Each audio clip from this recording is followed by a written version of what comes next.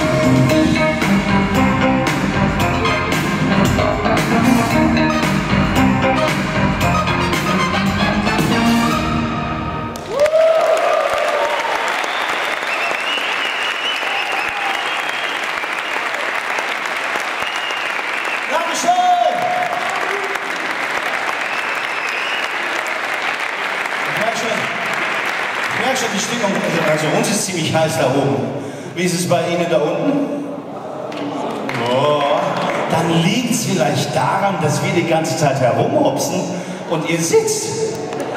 Das könnte daran liegen, ne? Ja. Wir kommen nun von den Five Jacksons, von den Jackson Five zu einem anderen Quintett, das äh, die Welt auf eine ganz andere Art gerockt hat, eigentlich mit ziemlich schwarzem britischen Humor, nämlich Monty Python. Und die haben eine Lebensweisheit. Das Leben ist doch schlecht und ziemlich ungerecht. Und manchmal geht uns alles auf den Geist. Dann wickeln die ein Tütchen, noch besser, Favorliedchen. Und schon sind alle Sorgen aus der Welt kennt alle den Refrain. Always look on the bright